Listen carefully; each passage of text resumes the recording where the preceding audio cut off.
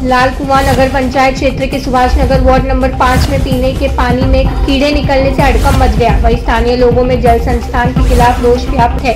साथ ही लोगों ने जल संस्थान पर लापरवाही का आरोप लगाते हुए क्षेत्र में स्वच्छ पेयजल की सप्लाई देने की मांग की है। बताते चले कि लाल कुआँ नगर पंचायत क्षेत्र के वार्ड नंबर पाँच में अचानक पीने के पानी में नल से कीड़े निकलने लगे, जिसको देखते हुए लोगों में हड़कम मच गया। वहीं स्थानीय लोगों ने इसकी शिकायत जल संस्था के अधिकारी से की, लेकिन अभी तक किसी तरह का समाधान नहीं हो पाया। लोगों का कहना है कि समस्या का शीघ्र समाधान नहीं हुआ तो जल संस्थान के खिलाफ आंदोलन किया जाएगा। देख लीजिए, आपको बुलाया है, सबको दिखा रहे हैं सामने।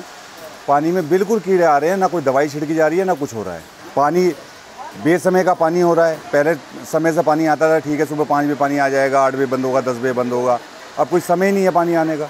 नगर पंचायत से तो कुछ भी कर लो आप, वहाँ कुछ सुनवाई होनी ही नहीं है।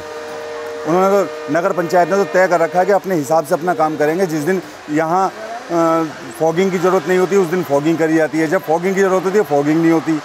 जब दवाई छिड़की सैनिटाइज़र के नाम पर प्योर पानी छिड़का जा रहा है। नहीं, नाली की सफ़ाई होती है। नाली की सफ़ाई होती है। ये तो पानी की है, ये जल संस्थान की गलती है। और ये लगातार ऐसा एक बार नहीं, लगातार कई बार हो चुका है। सुभाष नगर। यहाँ पर पानी में कीड़े आ रहे हैं और सब लोग बच्चे पी रहे हैं, बीमार पड़ रहे हैं।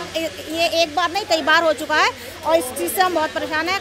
टाइम बे टाइम पानी आ रहा है और कोई सब लापरवाही हो रही है। कोई ध्यान नहीं दे रहा है कोई टंकी की सफ़ाई नहीं हो रही है। आप ये देखें छोटे छोटे बच्चे हैं गली में। सभी लोग इस्तेमाल कर रहे हैं इस पानी का, छोटे, बड़े। लेडीज़ भी हैं, प्रेगनेंट भी हैं घर, घरों में। पीने में ये पीने का ही पानी है, सर। कोई टाइम नहीं है, पानी का आने का, किसी भी टाइम आ रहा है। अभी किसी का नहीं आया नीचे पानी आ गया, ये इतना कीड़ा एक बार तो हम लोग फेंक चुके हैं दोबारा। जब दोबारा पानी में आया है तो हमने कहा, अभी तक कोई नहीं आया देखने के लिए, सर।